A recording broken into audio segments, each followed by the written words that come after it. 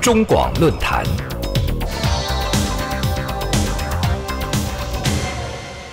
Hello，大家早，欢迎收听今天星期四的中广论坛。呃，今天我是台北市议员游淑慧啊。今天的外面呢的气候哈，跟我们的股市一样哦，凉飕飕的哦。今天呃外面下雨，然后天气变得很冷哦。听说这样的湿冷天气会维持一阵子。然后我们刚刚呃在等待进来的时间哈，看到那个台股哦，台股啊很可怕，台股很可怕。一泻千里，一泻千里哦！今天早盘的时候开，还有开一零八四五点哈，一万零八百四十五点哈。早盘它有开一万零八百四十五点哦，然后现在已经跌了五百三十三点了，已经跌了五百三十三点了哈。大家早哦。哇，这个数字我已经，这个跌幅我已经非常多年没有看到了哦。然后台子期哈，台子期我看一下，台子期已经跌了，刚刚跌了超过六百点哦。现在啊五百八十几点哈，差不多差不多都是惨兮兮凉兮兮哦。呃，其实昨天晚昨天哈，我听到那个 立法院在讨论一个问题哦，然后顾立雄在。谈那个禁空令的时候哦，我就知道今天会惨哈，但我只是不知道会惨成这样。为什么？因为 禁空令是什么？大家、大家、大家、大家、大家有没有听听过？什么叫做禁空令？呃，之前之前在亚洲金融风暴的时候，两千零八年的亚洲金融风暴的时候，那个时候我们的政府曾经。走向一个净空之路，哈，净空令就是平盘之下禁止放空哦。大家知道，我们的不管是股市也好，呃，股票也好，或期货也好，期货本来就有呃买多跟卖空，哈，就是你可以买它进场买它涨，你也可以进场买它跌，就是卖空。那股票也是哦，可以融资去买多，也可以融券去去卖空，哈，就是你看看衰未来，你就会卖空。那原本股票应该是一个呃自由市场的机制嘛？那当然，在一个呃比较超乎就是突发事件的时候，有一个异常的波动的时候，政府是可以进场调节。可是那个时候是金融风暴两千零八年的时候哦，那个时候政府宣布说禁止放空，然后也就是说，你只要是。跌的股票哈，除非它今天开红盘哦，你可以去卖空。如果它今天开盘就是跌的，就是所谓平盘之下，你就不可以再卖空。那大家以为说，政府以为说，哎呀，我不卖你卖，我不让你卖空哈，这个股票就不会跌的太多了。因为股票市场会跌有两种可能嘛，一种就是我原本的持股卖掉，我本来手上有股票，我持股就把它卖掉。然后另外一种是，呃，我手上没有股票，我去跟人家借股票，就是融券，把它卖空，哈，就是卖空，哈，就是空。所以政府以为说，我不让你卖空，我不让你去赌它跌，哦，那好像大家都只能第一个只能卖手头上的股票，或第二个只能买股票啊，以为说这样子就可以呃抑制这种暴跌的情况。结果呢，没有，就更惨。哦，就更惨。为什么？因为当你寄出净空令的时候，大家心里面的恐慌就更恐慌了，就觉得说，哦，原来现在市场已经不是正常的情况了，所以政府才要用这么大的动作。民众也不是白痴啊，你你不让我卖空，我就全部都去买多，他又不是白痴。对，民众还是会看整个整体的经济面、全球的状况，然后还有就是呃手头上的资金等等问题。所以那个时候，我们禁止卖空以后更惨，大盘一路从九千八百五十九点一路跌了将近六千点，哦，跌到了三千九百五十五点。所以禁空令这件事情，在上第那两千零八年的实验，大家就知道说，呃。其实是不对的啊！去你过度干预市场的机制的时候，你只有引发第一个投资者要跟你对坐，要跟你对坐，要跟你政府对坐。三一九的时候也是外资跟政府对坐嘛。好，那你是你你你政府的资金，你不可能去去扭转整个全世界的局势，你也不可能去跟市场力量。人家说经济学里面说，市场里面有一只看不见、看不见的手。你政府的力量哈，你即便是中国大陆，你也不可能去跟整个市场的大趋势去扭转。所以你过度干预的结果，你只会让股市跌得更惨。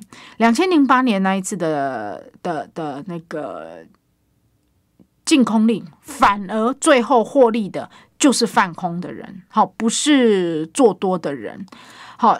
然后有一些人哈，他赔钱哈，你知道股票两边都可以赚钱嘛？你觉得说它会涨，你就买多；你觉得它会跌，你就卖空。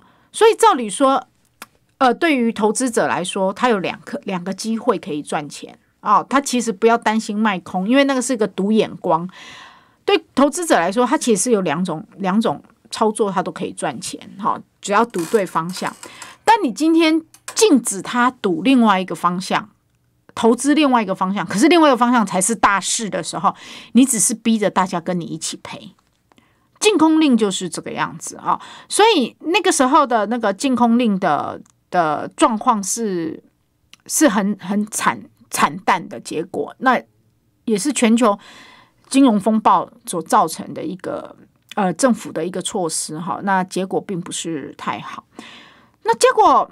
昨天我们的经管会居然又说了，又说了，哎呀，我们已经备妥方案了。就他的备妥方案，记者问他说：“哎，那个不会，那个立立委问他说，哎，是不是有禁空令可能会寄出？”然后顾立雄就说：“哎，我们已经都准备好了，我们已经都规定好了。”你知道这个就引发大家的想象哈，就是说，呃，哎，这次。股市可能又会又会出现巨大的波动，而且这个波动可能是像重演两千零八年这样一个遥遥无期的遥遥无期的跌势，所以政府又要用净空令了。当年的净空令哈，投资者哈只有一种人赚钱，就是提早放空的人。在你净空令下之前，我提早放空的人是最后的赢家。因为从最后从九净空令一下，从九千点跌到三千点，所以这一次我不知道许多投资者是不是看到昨天我们金管会顾立雄说，哎，净空令又准备好了，所以有上一次经验，再一次提早放空，哦，再一次提早放空，我我我我觉得我觉得这是有可能，因为包括我昨天看到说净空令已经准备好，我心里都觉得说，啊，是呀，差嘛。为什么又要用净空令？是不是又到了一个嗯没有办法收拾的这个这个全球的金融的状况哈，或是景气的状况？那这个这个这个事情跟让我们知道说哈，有一些政府有一些官员，他的一言一行会影响股市的官员，其实有一些措施哈可以做，不可以说好，或者是要做再说。你提前去说哦，我有可能那样，我有可能那样，你只会让市场产生的恐慌跟不安全感。通常就是这样，股市是一种心理，很大部分就是一种集体的预期心理。我大家预期会跌，我就会去卖空；我大家预期会涨，股市就会涨。股市就是买的是一种预期心理。那今天你政府官员。像今晚会这么重要的位置，跟大家说：“哎呦，我们禁空令又再次准备好喽。”然后什么时候不知道哦。然后反正就有时间到了就会，你只会让股民的预期心理是恐慌哦，恐慌指数会在增加，所以大家就先卖再说哦，先放空再说啊，因为你到时候不准我放空嘛，那我不如现在先放空。这个是今天我认为啦，哈，造成这个呃台股哈出现这几年来哈呃少数的崩跌的这个其中一个原因啦。嗯，像川普也是啊，那一天说呃前天说减税跌了涨了一千点，哎，然后第二天跌了一千四百点。那听川普说减税的人进场去买的，其实就是。最后一只待宰的羔羊，因为第二天杀的更凶哦。这这个这个就是股市哦，这就是股市哦，它是很容易因为呃一些具有影响力的，尤其是政府官员的一句话跌哈，一句话涨。但是问题是，如果你跟实际的状况是不一样的时候，它还是会回到它正常的波动。哦，川普说了减税涨一千点，然后那一天进场去买的人，第二天他就要承受跌一千四百点的这个苦痛哈。那中间是一定有人赚走，谁赚走不知道，或许是提前知道川普会说要减税的人。然后在一千点的时候，又知道说这只是说说，可能在一千点的时候又去卖空的人，哦，就上下就就就上冲下洗哈，呃，所以在在这种情势市场情势未明的时候，哈，第一个我觉得政府官员哈的态度不要随便的表达哈，尤其是你讲话跟股市波动有关的人哈。就是你不要随便的表达哈，尤其是你说禁空令，那大家就开始恐慌啦，对不对？哦，然后第二个就是对于投资者来说哈，就是嗯，现在可能是一个很难预测的状况啊，哈，为什么这一波的疫情哈，最后最后全球的经济可能会造成一个很大的影响啊？因为我们现在全球十大前十大经济体，前十大经济体的 GDP 哈，全球十十大经济体就是大家熟知的美国、中国、日本、德国、法国、意大利、印度啊，我我背不起来哈，反正就是有前十大经济体哈。呃，前十大经济体里面，我上那一天。所有的 GDP 占了全球的三分之二的 GDP 啊，大家会觉得很可怕，说啊，这个十个国家的 GDP 居然占了我们全世界三分之二的 GDP，那我们其他人是什么？我们其他人是那个蛋糕上面的奶油吗？哈，对啊，前十大经济体居然可以占了呃全球的三分之二的这个 GDP，那现在全球前十大经济体里面。爆发疫情，而且算疫情严重的，哈，几乎已经是好像九个吧。我那天数了一下，好像九个。哈，我再跟大家重重重复一次。哈，我找到资料了啊。美国前十大经济体是美国，呃，疫情已经要开始了啊。大家知道哈，现在美国，而且美国前一波的流感太严重了，两千五百万人。冷清狗爸爸狼哈，两千五百万人的感染哈，这个是一个不得了的数字。而且问题是你确定这里面都是流感吗？好，其实他没有检疫，他没有两千五百万人是你去治疗，他给你克流感，但是里面有非常多没有检疫，因为美国检疫非常贵。好，所以这两千五百万人是一种估计，是哎，你有症状，然后你来诊所，然后我开给你流感的药，可是你有没有检疫？嗯，怎样？好，不一定有，因为美国的检疫太贵了。所以两千五百万人感染流感，问题是里面会不会有夹杂的新冠？不知道。其实美国也是没有大规模检疫的哦，不知道。那症状很像。好，那不管怎么样，美国的疫情正在开始哦，已经有，嗯，我昨天看好像有很蛮多州，已经十几个州吧，已经进入紧急状态了，所以美国经济体一定受冲击，哦，而且还有油价下跌，油价下跌让美国的油页岩变得很惨，好，为什么？因为美国的油页岩的，呃，页油岩啊，油页岩啊。它的开采成本本来就比沙特阿拉伯跟俄罗斯的这个原油开采的成本高，那现在原油价格在下跌，因为苏苏联呃苏俄嗯苏俄跟俄罗斯跟沙特阿拉伯都不愿意减产哦，在这个上一次前几天的会议里面没有达成减产的。的共识，大家知道哈，你你供给就是这样哈。如果你价格跌跌了，你就应该减少生产啊。如果你价格跌了，你还不愿意减少生产，只会让它更跌。好啦，那这两个这两个生产国撑得起，但美国就撑不起了，因为它的那个油页岩页油岩哈，它的那个生产成本比人家高，所以它现在几乎是它的它没有价格优势，所以就。可能是开采一桶赔一桶，然后就面临倒闭。然后倒闭会影响什么呢？美国的石油产业如果倒闭，有一些倒闭会面临什么呢？就能源股也会重挫。然后还有就是他们美他们有很多高收益债哦，基金哦，我觉得有买基金的人就大概知道哈，高收益债的基金里面有很多都是买能源股的公司债。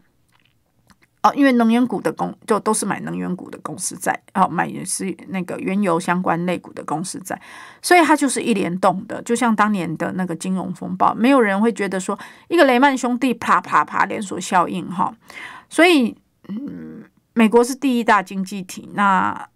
它的疫情刚开始，然后不止受疫情的影响，还包括就是受呃原油价格崩跌的这个一天崩跌三成，哎，这个你很难想象哈。要是我可以买买那个原油期货的话，我应该会进去买吧。因为为什么？因为石油这种东西是民生必需品哦，久了以后还是会涨的哦。大家知道原物料也是有期货的啊，黄金啦、黄黄豆啦、原油都是那个，像我们政府现在那个关谷那个。买超哈，最近买超哈，就大量买进那个原油的期货期那个期指数哈，买原油的指数，因为第一个原油一定永远都会用到，石油永远都会用到，短期的崩跌你不进场买，什么时候进场买呢？哈，可是这个好像要专业投资人跟那个像政府这样比较大的资金。好，我看到那个新闻，我们政府的那个就进场去买那个。原有的期货合约，哈，一好像是 ETF 吧，哈，好，那第二大经济体，全球第二大经济体是中国大陆，哈，那中国大陆的疫情，它是惨在前面，其他是惨在后面，很多是现在开始惨，那中国大陆是惨在前面，而且中国大陆可以用封闭式管理来处理这些疫情，但其他国家非常难。好，没有，所以我跟大家报告哈，如果中国大陆要花两个月的时间去控制疫情的话，欧洲就不止了，因为它是用非一开始我就说它是用快、很准的方式在处理这一波疫情，就是封闭式管理啊，封城、封城、封城啊，最后小区也封闭管理。呃，为什么世卫组织有人说，哎，要感谢这个？